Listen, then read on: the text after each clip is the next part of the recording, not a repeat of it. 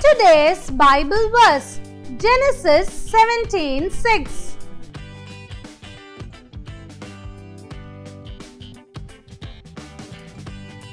I will make you exceedingly fruitful, and I will make nations of you, and kings shall come from you.